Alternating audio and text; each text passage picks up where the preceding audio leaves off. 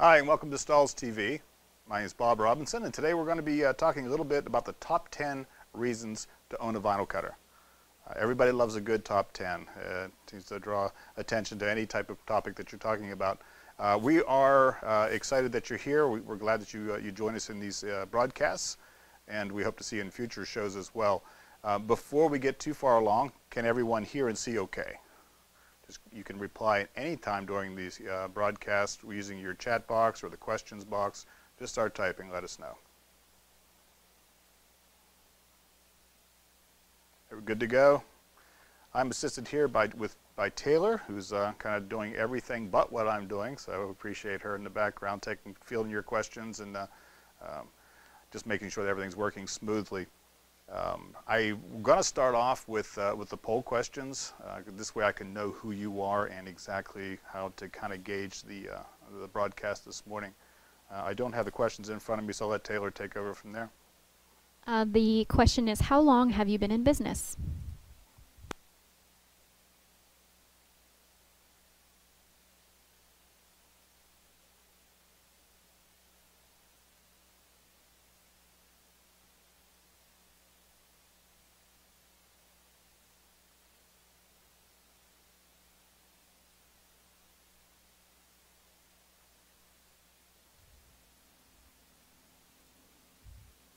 Okay, so it looks like 50% of you, um, you're brand new and you're just getting started. 17% one to three years, and again 17% for four to seven years and over seven years. Very good.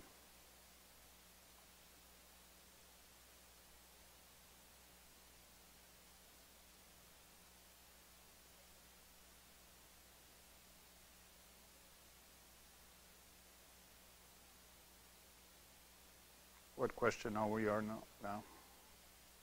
This next question is what's what decorating methods do you offer? Gotcha.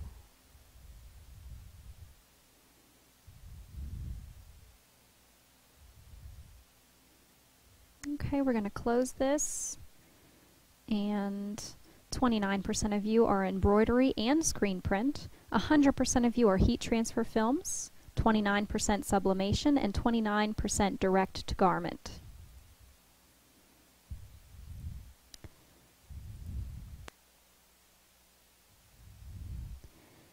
And our last is, do you currently own a vinyl cutter?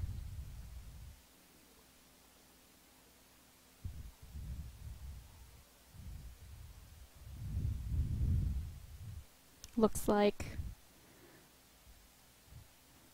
looks like everybody uh, currently owns a vinyl cutter. Everybody owns a vinyl cutter. Well, that's a little surprising to me. I thought you'd be taking this opportunity to figure out why you should purchase one. Now you're just going to figure out why you did purchase one. We're going to talk through some of those steps. Um, it's very natural, as you saw there with the uh, the different varieties of garment decoration, apparel decoration that, that you all are doing, everything from embroidery to screen print to direct-to-garment printing, sublimation, all those things. The most commonly added piece of equipment after the heat press is going to be a standard vinyl cutter. And there are a lot of different models and different features and different types out there. We won't get into all of that as to because they're all basically doing the same thing.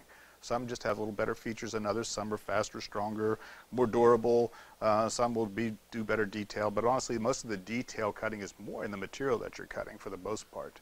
Uh, stepper motors, servo motors, you all have your cutters already. Regardless of where you are, they all do the same thing. They are going to cut designs out of vinyl of some sort uh, whether it be heat transfer films, which we specialize in, or even sign vinyl, which is why these were actually designed in the first place. They have these plotters, cutters, vinyl cutters, whatever you want to call them, uh, are designed to give you the ability to uh, create designs uh, instead of printing or cutting the actual image. So if I need a blue design, I put blue material in the material and I cut it, weed it, press it. That easy. Yeah, some designs not quite as easy as others. But why why this. Let's go over the process first of all. Even though um, a lot of you do have vinyl cutters already, in fact, all of you do, um, some of you are still, like 50% of you are very brand new. So maybe you just got it. Uh, so I'm going to have to address this as if you know, some of you have never seen the process or you totally understand it. So we're always starting with uh, a, roll, a, a, roll of material or a piece of material. This happens to be uh, a heat transfer film and they are always two-ply. Two-ply meaning the finished product, and when you're doing heat transfer, the finished product is attached to a separate carrier. I might get a quick weeder here and peel off the side. Bear with me. As you can see, there are two sections. You've got the finished product here. This happens to be metallic silver. Um, then there, the back carrier is just a plastic.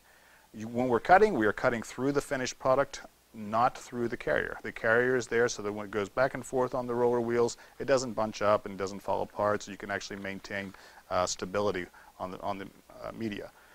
Uh, when I first show this to people who are brand new to this, they look and say, how hard, it's got to be ridiculously hard to make sure that you're cutting just through the material and not through the carrier. It's really not. It's very fine-tuned. It's very calibrated very uh, succinctly so that we're dealing just in uh, small amounts that we're adjusting.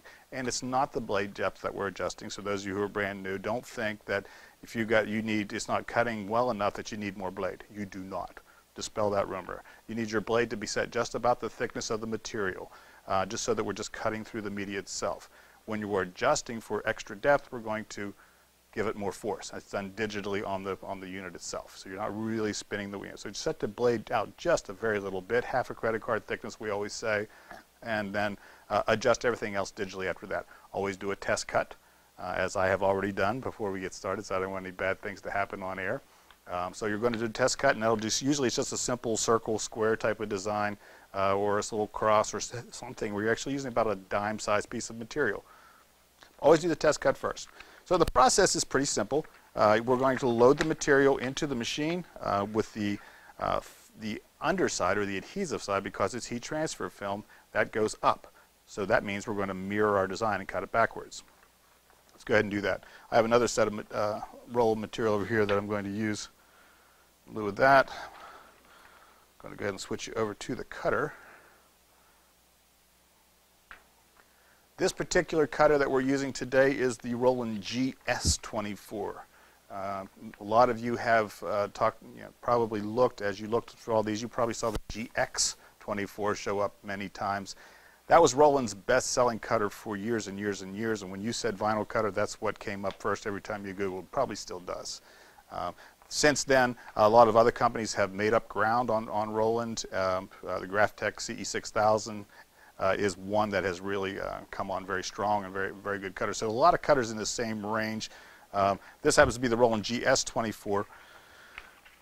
Before I go any further, and I apologize for uh, um, not saying this earlier, I welcome and encourage your questions and comments. Unless it's something bad about me, then just keep that to yourself. But if it's a good question and, uh, and or something you would like to add to this, we're all friends and family here. Uh, just please uh, type that in the chat box at any time, uh, and Taylor will yeah, let me know what, what you've got to say or what you've got to ask, and we'll do our best to answer those questions. So before we go any further, go ahead and put the, uh, put the material in. Pinch rollers, now how well you can see, but you'll see the rollers on either side of the material. You need that material um, to be under the rollers not too far away from the edge because you want to make sure that you don't run off. I use the front and back grooves on this machine to make sure that my piece of material uh, lines up properly so that it tracks okay. Lock the pinch rollers down. Simple demonstration. Select sheet or roll. Get out of your way. Now this is a common um, problem that a lot of people in the front end don't realize what, what, hap what happens here. That's read the pinch rollers. It knows exactly where everything is as it went across when we, when we selected roll or sheet. Um, but it actually set its home point right there too. So we've got all this material that I have wasted if I start cutting from there. So people will remember to go ahead, let's go ahead and advance that material backwards with the keypad so I don't waste anything. But they forget to do one thing, which is set the origin point right now. And that's why if that material ever advances forward and you lost your six to eight inches every time, I said, this machine is killing me. I'm wasting you know, this, this material all the time. Just make sure that uh, you set your origin point like I'm going to do now. I almost forgot to do it. Now it's going to start cutting exactly from where I have it set. I have already done my, my, uh, my test. I've already done my test cut, made sure that it is cutting properly on the depth. Hopefully it still does that. Um, you never know what happens in live TV. I brought up my design in, um, Actually, I'm using CADworx. Uh, it's something to consider if you're brand new. Uh, we have an online design software called CADworx Live. It's an online design software with full of templates, uh, clip art, text effects, uh, just a very, very easy to, to navigate and to be able to do nice designs um, without really being a graphic artist. The toughest part of this whole industry is the graphics. Everything else is just a tool to get you from A to B. The graphics, that's the creation part. That's what really sells your designs. Now what we've done, because uh, a big portion of using a vinyl cutter, most people, uh, when you, you know, what's the first thing that comes to mind when somebody says vinyl cutter, what are you using that for? Oh, it's names and numbers for, for ball jerseys. And it pretty much is. I mean, that has kind of been the mainstay. That's why most people get it, because, oh, every spring all these teams want us to do their names and numbers, and we have to buy the numbers or we have to order transfers. It just, or they want to screen print them. It's not cost effective. We'll get into all those reasons why later. Uh, but so I'm going to be I'm choosing to use a, just a team name with tail. We're doing the Warriors. I'm using um, the Sport Film Light today, and it's in a metallic gold. So I'm going to go ahead and send this cut job. Won't take but a few seconds.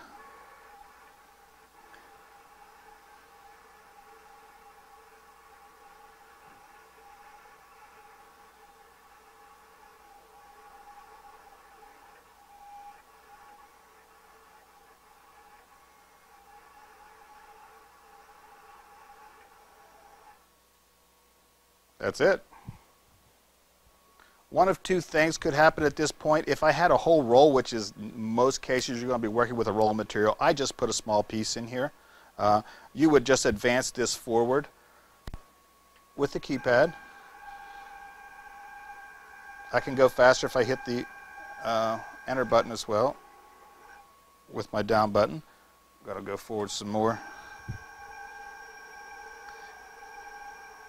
And then I would cut that off. Now with this particular cutter, they left a nice little groove here. Most of them do, where you can use a, you can just use a uh, um, little simple X-Acto tool type of knife and cut that design off. Of course, you want to make sure that you have actually uh, advanced the uh, me the media past. I'm working backwards. I apologize. I can't work this way. I have to get in front of you. There we go. Make sure you didn't you advance it all the way past, or otherwise you will end up with uh, cutting off part of your logo. Now it doesn't look like anything's been done here. If you look very carefully, you can see the cut lines with the light hitting on it just right. So we're going to step over to the weeding table here and weed out the parts we don't need. And that's mostly what's around the outside and any cavities inside. Let me flip you to that screen.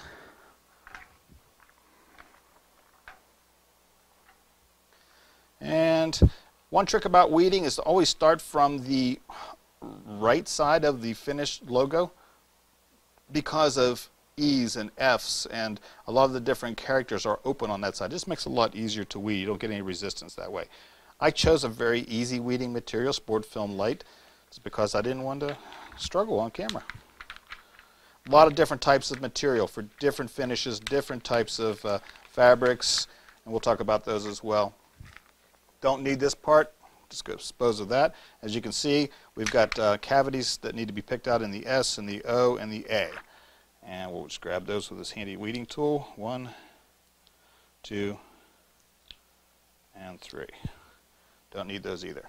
One little trick too is while you're weeding something like this, and you've got a lot of weeding, you actually be seated and you're in a comfortable place.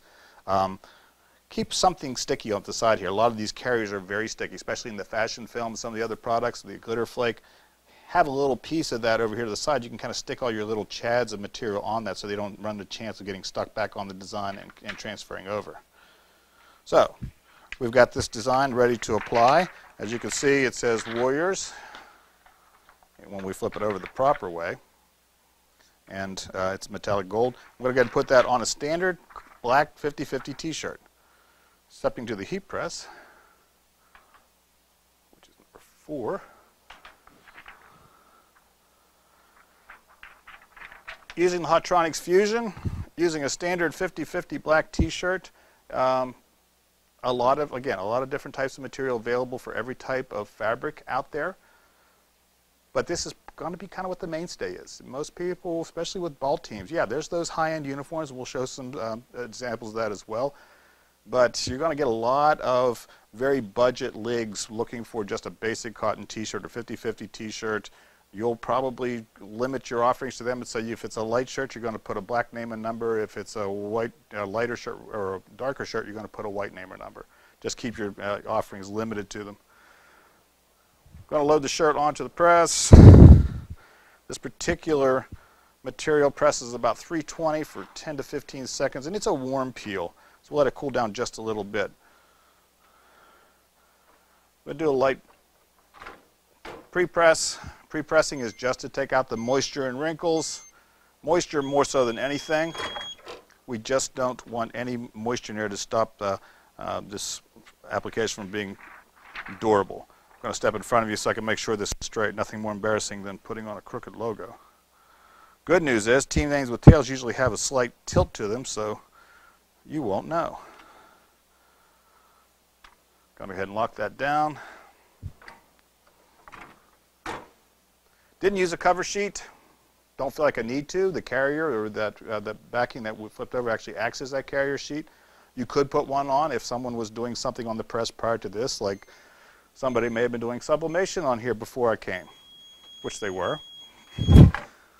But I made sure I cleaned the platen off before, so just make sure. And I'll let that go ahead and cool off just a little bit. I'm going to pull it off of there just so it cools a little faster.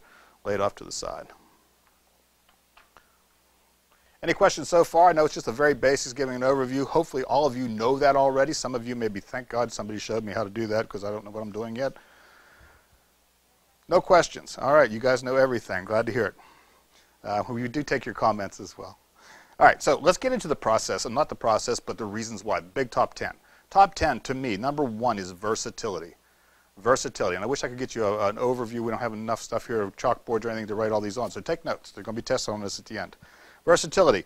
Screen print look of designs. Anytime that you're talking about apparel decoration, screen print comes to mind number one. That's what they think screen printing is, is just putting stuff on shirts. That's screen print. It's a generic term uh, even though we know better that it's actually applying plastisol ink through a mesh screen and drying and curing and all that type of thing. But bottom line is they just want something on their shirt. Um, so you, we try to duplicate screen print as much as possible. You can do that with the vinyl cutter. The vinyl cutter, you know, the types of films that we're using these days are very thin. They can be very stretchable. They'll adhere to different fabrics. When you're all said and done, you're going to get a very, uh, a nice soft tan that's exceptionally durable. Peeling that off now, discarding that. And in just that little bit of time, now yeah, I did a lot of talking there, but in just that little bit of time, we ended up with a, a pretty nice design on, on a single color design on a shirt uh, that it can be sold for a decent amount of money.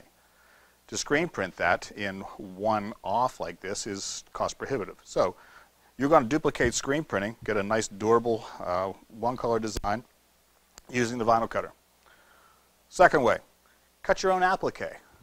Those of you who are embroiderers, uh, if you, are cutting applique, cutting the fabric to actually be sewn permanently onto, onto the uh, shirt or jersey or whatever you're going to. Big with um, not only uh, sports, not only on-field type of football and baseball and things like that, especially the uh, professional uh, level and college level, but uh, also Greek wear. A lot of good applique there. But you can do that now with this vinyl cutter. Uh, not every cutter has the ability to do that. You want to make sure one has a good servo motor and that you've got the right blade. But most cases, if you've got a little bit slightly higher end cutter, you can cut your own applique.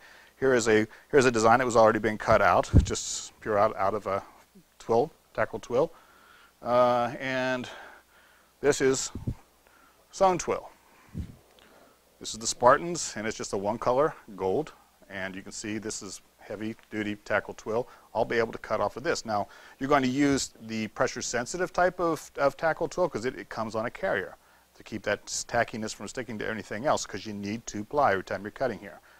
And you got to make sure that you're using uh, the right blade and a lot more force than you would for standard vinyl. I cut this like at 70 grams of force on this machine. This would probably be upwards of 120, 140, maybe more with a 60 degree carbide blade, uh, but still very doable. Also, when you're cutting applique, also keep in mind that no more reverse. You're cutting this in the positive. You're cutting what you see. So we're talking about screen print type designs using your, using your heat transfer films. We're talking about cutting your own applique.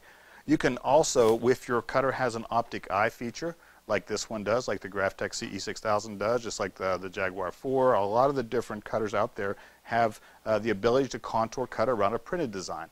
Not everybody is ready to dive into a VersaCAMM and spend anywhere from 8,500 up to $30,000 for a full color solvent inkjet printer cutter. But uh, using a simple inkjet transfer sheet like this one uh, gives you the ability to print full color, but because it's, it's, it's for dark garments, it's printing onto a white material in the uh, white media on the, in the positive, we need to cut around that. And so these, a lot of these cutters using the registration marks that you see here, will, the optic eye will find these registration marks and contour cut around that image for you. So another added bonus for using the vinyl cutter. We have a question. Um, our question is, when selling to customers, do you advertise this method as heat transfer since customers may not understand why? Or, excuse me, understand vinyl? Yeah, that's tough. It is. Uh, you call it heat transfer. Even even at that, the heat transfer name has gotten a bad rap over the years. We're really doing our best to to crawl off from underneath of that because honestly, the heat transfer part is the probably the fastest growing decorating method there is uh, in the industry today and the most durable and the lowest investment, all the reasons that we're going to talk a little further about today, but still just heat transferred uh, versus vinyl. I don't like to use the word vinyl, period, if I can do my best to avoid vinyl because vinyl indicates to me just cold communication that it's stiff and shiny. It's something very heavy and it's on my shirt. I don't want that. It's supposed to be someplace else. No, it's on my car, not on my shirt. So I usually like heat transfer films is a good way to go. You can start making up, getting getting uh, uh, creative. I had one customer who called their whole process just fusion. They heat fused the, and it sounds like it's very permanent and very uh, scientific that actually put the, these images onto the shirt. So yeah, it's it's tough. You have to they have to know what they're getting, but bottom line is they need to know that you're you're going to stand behind your work and it's something that's going to be very durable and colorful and and uh, and affordable for them. Any other questions? Okay, good. All right, so we're, we're screen printing, getting the screen print type of look. We're cutting our own applique. We're using uh, contour, we're contour cutting around printed images. You can also, this allows you to expand into markets um, like sports. Sports, we talk about all the time. That's what these are largely used for, and that's kind of our bread and butter as well. It's what put Stahls on the map was sports lettering, uh, and it's a great industry to be in. And it seems like it never dries up. There's never enough uh, decorators. It seems like there's more business than decorators no matter where you go. So team sports, very, very big, uh, opens up those, those markets, um, especially if you're doing just like embroidery now. Like you're adding one of these on those, uh, adding team sports is a great way because it's, it's a one-off. It's a customization type of thing. Speaking of that, the next th uh, thing you can be adding is customization, whether it be uh, in a kiosk, you're doing one-offs while they wait, anything on a shirt type of logo, or if they happen to walk into your shop, if you have a brick and mortar store, um, they can, they really can just say, you can offer them anything on a shirt within reason. Of course, we're going to keep it clean and uh, uh, unless you have like political reasons, you don't want to put something on a shirt. But for the most part, uh, you can uh, you know, decorate on demand keep X amount of shirts in-house, and they love it. They love the fact that I can just go get it done. There's no waiting. There's no worrying online. I can just go get this done today. So personalization, customization. Uh, also signs, decals. This unit, these types of units were born for this. Uh, it's, they started off as using the standard vinyl, the pressure-sensitive vinyl that was applied to the coroplast signs for uh, uh, for political signs and for real estate and or just the, the vehicle uh, lettering on the side of trucks for Joe's Plumbing and Heating and or just the little simple decals on the back, the little stick figures of dad holding mom's hand, holding the dog's hand and the baby and the, all those things. Those are all, and whatever happens, even that mem memorial type of uh, logos for backs of car windows all brand new markets beyond where you currently are. So it's going to open up the sports, the customization, the signs, the decals. So all that spells versatility, which is the number one uh, reason to buy a vinyl cutter, in my opinion. Uh, number two, if you're taking notes, is value. It's a small investment for a big return, for a quick return. Not just a big return, but very quickly. People say, how quickly am I going to pay this off? When am I going to start making money? I've done the math. It's okay, you don't have to do it. Um, essentially, regardless of what you are applying to, whether it's going to be a basic t-shirt or whether it be a corporate wear left chest logo or whether it be uh, a jacket um, full back, reflective, whatever the case is, for you to pay off the investment of your basic vinyl cutter, it's under 200 total pieces that you need to sell. That typically pays off your unit. So you can challenge that. You can look at it. If you're not, if, it, if that doesn't ring true to you, then you're probably not charging enough for what you're doing. Uh, but take a look at that too. And that's that's a difficult question too, as far as you know, what do you charge for each one of these? But um, you know, that's that's a that's a that's a whole nother whole nother seminar as well. But um, it is a very small investment. Most cases, I mean, there are cutters out there for $500 or under. Don't totally recommend that level just because I expect to be in this for for the long term. But if you've got one of those, they're going to do just fine. You eventually probably upgrade. Um, most of them are going to range between the uh, 16 to 1800 dollar range for the mid range, and of course they can keep bigger, stronger, faster, and going uh, more industrial after that. Most cases in our industry, that's somewhat overkill unless I'm doing a ridiculous amount of cutting and I need some longevity. Or you just like the frills and the ability to do a lot more busting into the sign business. Where we're doing a lot more vehicle graphics. Need a little more wider, faster, stronger um, piece of equipment. So value. Versatility number one, value number two. Small investment for very quick returns. There's not much uh, other than like the heat press. Again, there's not a smaller investment that gives you something that quick of return on in the industry. Durability, number three no peeling, cracking, fading. Essentially, it lasts the garment. Even screen print will start to eventually alligator and crack and as it gets over cured in the dryer after it starts to dry out you start to get some of that little bit of a breakdown in the ink in the today's most of today's uh, heat transfer films uh, i can't speak to all of them but ones that i'm familiar with uh, they're there for the life of the shirt 50 plus washings and you're not going to see any real degradation, any real deterioration there. The blues, the colors are going to stay just as vibrant. It's solid color all the way through. It's not like it's printed on. It's not like it's sublimated here and there. It's, it is solid color all the way through the heat transfer film. So the durability is exceptional. So people want their stuff to last, especially when you're talking sports, especially when you're talking workwear, outdoor type of things. We're going to show some more examples as we go. It's hard not to overlap every one of these uh, different uh, categories or these top 10 reasons because they all kind of work together for the same goal. Uh, not only versatility and value and durability, but short runs. Uh, we do know, the ability to do short runs, meaning, meaning no setup fee. Your screen printers know that you, uh, you there's, there's $25 minimum or on the average uh, per color per design. So if I've got a, uh, even if it's just a one color design, I have $25 just to start with, and they only want three shirts, or I've got over $8 that I need to put onto the cost of that just for just the screen charge to start with. Then the cost of the shirt, and then the ink and the labor and the overhead, yada, yada, keeps building up. It becomes not cost effective. That's why screen printers have minimums. Nothing under 48 for us, or otherwise you're not going to like us. You're going to think we're gouging you. But it's the real deal. It's what we have to do. That's why many screen printers have a vinyl cutter to handle the short runs, or to do the personalization, or do the uh, the customization. Add on one, give me one more of these. You're able to do that. So uh, short runs. There's no setup fees, no screen charges. I'm able to. It doesn't really matter how few I have. It costs the same to produce one as it does to do 10. Now, at some point, you know, you get to 200 pieces of a one color design, heck yeah, get them screen printed or get transfer screen printed transfers made. Have trans, visit Transfer Express, they can do this, turn those around in a day or two, and you're, you're back in business. So short runs, big, big. Quick turn, react to your customers' needs, earn their loyalty and their repeat business. Quick turn, somebody comes in last minute and says, oh my gosh, you help me. Little Jimmy just finally made the all-star team and they don't have a jersey for him. They gave me this blank one. Can you get his name on this? He wants to play real bad. No problem. Look at it. Okay, what's the font? We do it. We cut it. Put it. We press it. You're in and out. They're in and out of there. You save their lives. They love you. You you were able to you were able to uh, perform on demand. Uh, that creates loyalty. That creates repeat business. Customers coming in. Do them a favor. Don't even charge for it. Get me next time. I was like, yeah, that sounds crazy, but I'll tell you, giving something away now, getting something out of the buy now pays back big dividends down the road. So having the ability to do a quick turn, reacting to your customer needs immediately uh, really does uh, help build uh, customer loyalty and, and repeat business.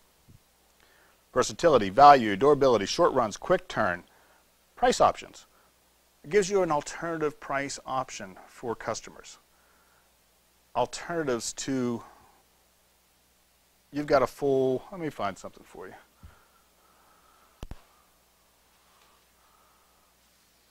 You've got a full back design on a simple coach's jacket, very affordable jacket, but they want something that large on the back. It has to be readable. You're an embroiderer.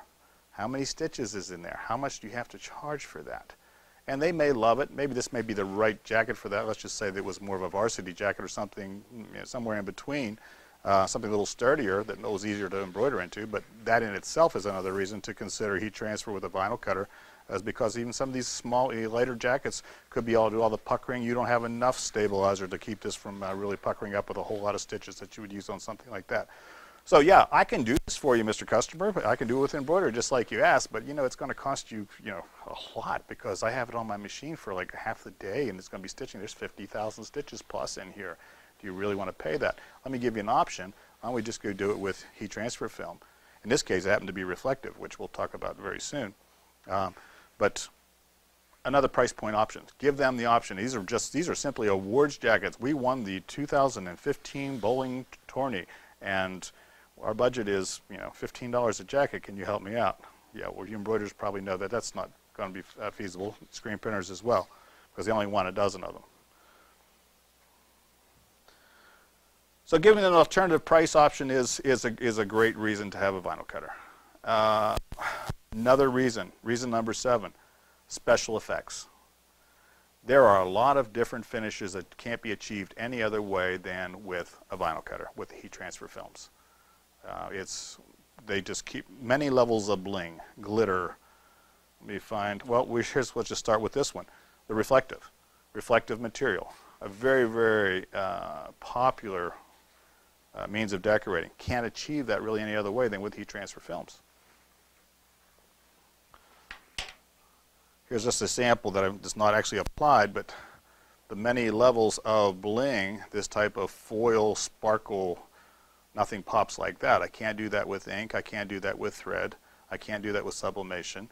Only with heat transfer films can I get that kind of sparkle, that kind of shimmer. And there are different levels of that as well. Skipping past. Here's another similar one in an actual design, the dance logo with the same type of sparkle on it. This one just gives you a nice sheen, more of a metallic type of, of, of sheen that you see here. Now those of you who are semi-unfamiliar, you see two color logos here. Yeah, this you do them one at a time. So anytime you're going to double your colors, you're going to double your cost across the board. So make sure you charge accordingly. If it costs me a dollar to produce one color logo, it's going to cost me two dollars to produce a two color logo. Options like the actual glitter flake, which has become very, very popular. These are some just some dance yoga pants or sweatpants. In my day, we called them. Same deal.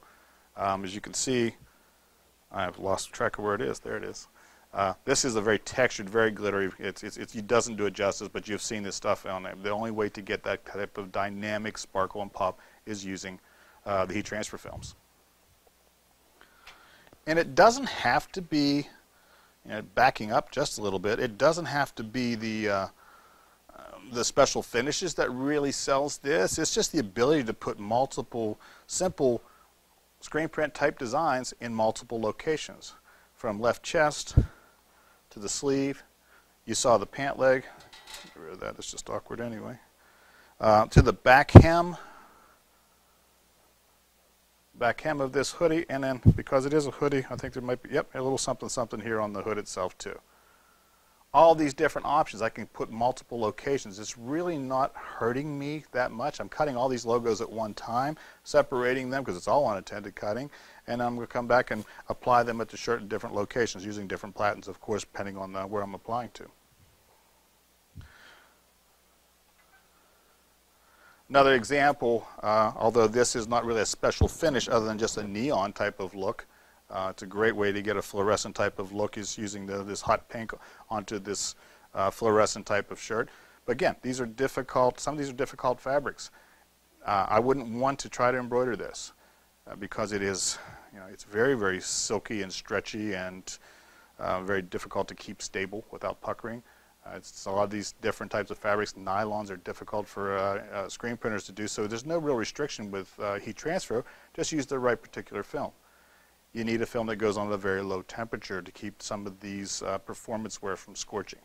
So having the uh, having the low temp application, as you can see, you can cut very fine detail, and that didn't take forever to weed. As you can see, as we did just earlier, this peeled up very quickly. You can weed a design like this inside in, in seconds, and ready to apply.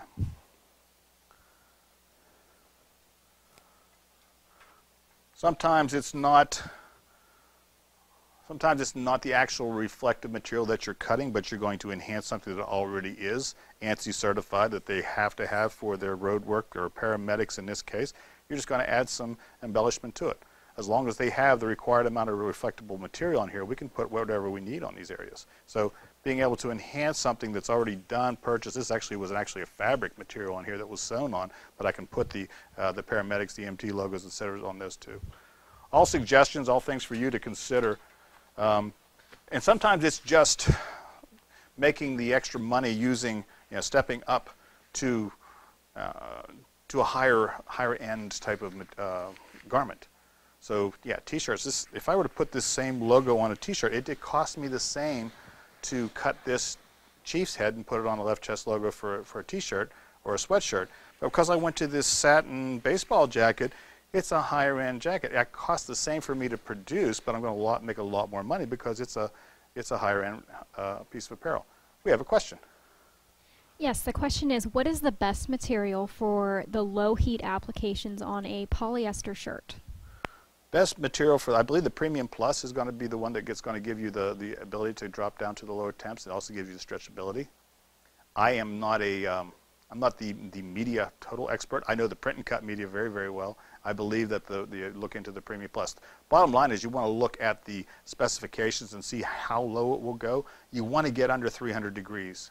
If you have one that will allow and give you the flexibility to go under 300 degrees, that's the one to go to. And hopefully it's also one that has some stretch and rebound and gives you that rubbery type of hand that blends in with it. So one that the best one is one that applies under 300 degrees. I've made a shambles of all of our samples over here. We're going to move on. A special effects, not only but the many levels of uh, bling, but glitter, flock. Um, kind of the original CAD cut material is flock. It's that velvety type of uh, um, flocking type material that gives you that little furry type of feel. Gives you a little three-dimensional type of feel. Kind of it replaces a little bit of embroidery. Does well on things like, um, uh, I want to say the uh, uh, the blankets you know, type of that type of um, microfiber type of, of, jacket type and, and, and blankets, anything that gives you that velvety texture you want to use. Uh, it's actually making a comeback. Used a lot in uh, a lot of different types of sports too, volleyball and soccer. They'll use they'll use a lot more flock. Uh, glow in the dark, yeah, glow in the dark. Some, just, again, it's not something you're going to wear every day, and you want to shine everywhere. But, uh, uh, lots of like clubbing shirts, definitely for Halloween. Anytime you want to make a make a statement uh, in the dark, that's a great way to go. Can't get that any other way, by the way. Uh, customization. That is our. That is the number eight.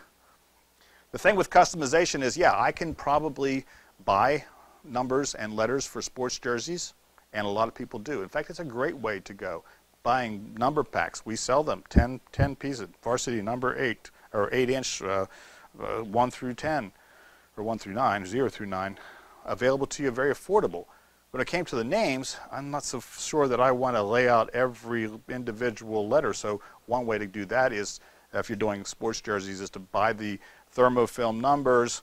Those are very affordable, easy to lay down, easy to line up. I'm going to cut the names, and, and, and that'll match up the same material on the CAD cut material as the ones that are die cut and preset ready to go. However, you got customers who come in and say, you know, but um, I really want this font. We want to be cooler than the rest of the kids. I want to have, can we, you, with this, there's no uh, restrictions. By cutting your own, you can put things on an italic tilt. You can use any, any font that's loaded on your computer for the most part. So now I can do some things that aren't off the rack. I can also fit the guy's last name who is, you know, Wilkinson, who doesn't fit on the stand. If I use three inch letters across there, it's going to have to go down his sleeves, and that's not league approved. I can shrink these down accordingly so I can actually get them to fit on the shirt. I don't have to worry about all the layout there. There's no danger of me making threes out of E's and uh, when you're putting things backwards upside down because it's laid out specifically. My favorite, I am a, fan of doing, when I'm doing a team name and number, I'm sorry, a, a player name and number, I like them all in one. I do the player name with the proper spacing with the number below it. Yeah, it uses more material, but I guarantee you I'm going to lay that on a shirt and press it and be done. I'm not going to take the time to wonder, do I have this straight, do I have this straight, do I have them lined up, is the spacing right between these? It costs a little more, but my labor is worth more to me than the material that I bought. I love the fact that I can push it down one time and press it. So it doesn't matter what the size, uh, you can customize the size, you can customize the style, you can customize the color, uh, and you can customize the font. So customization, very, very big. The reason I own a vinyl cutter, customization. Uh, number nine, independence. Independence. You are in control and not at anyone's mercy. And that's very big. And I talked to a lot of customers who just are just as much of a control freak as me, maybe not quite that bad because I'm pretty severe. But I like my hands on everything that I do. I want to make sure that it is done right, which is right equates to the way I would do it. That's a lot of us feel that way. If it's not the way I do it, it's my way the highway. It's just I just don't feel comfortable trusting someone else to do it or making sure they got it done on time. My name is on the line. I'm the guy that they came to do their decoration. I want to be in control. I want to make sure that I can service and produce this on time, the proper way, exactly the way they conveyed it to me. And even though we do a great job, and a lot of companies do a decent job, there's always that chance that you can actually miss, you can lose some uh, communication somewhere along the line and not get the proper information conveyed the way that it should have been. And we go, ooh, you have to compromise or we have to redo being able to do it, being in control, total independence from anybody else is number nine. So independence. And then lastly, profitability. Um, everything that we listed earlier, all the top nine combined, all come together for profitability. That's why we're all in this business, right? I know a lot of you are just find this very soothing to weed and, and apply, and it's, it's, it's, it's, it's nice therapy for you, but ultimately we're doing this to, to make some money and being able to do all the different reasons, whether it be uh, you know, the short runs, the quick turn, giving them different price options, the special effects, the customization, the independence, all those things comes together to make more profit for you.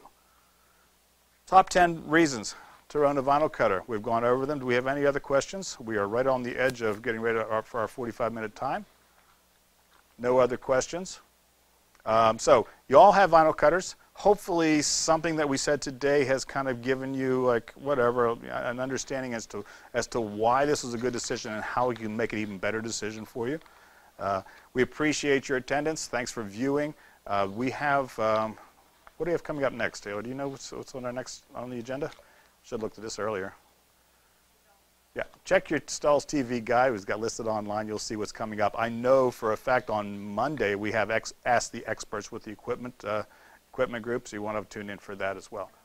The morning show, prior to that, every morning, every Monday morning, the morning show comes on. That's it's getting some real uh, popularity too. So, yeah, forget about Katie Couric and the rest of them. Go see Zach and Josh. All right, thanks a lot. Uh, appreciate you. See you next time.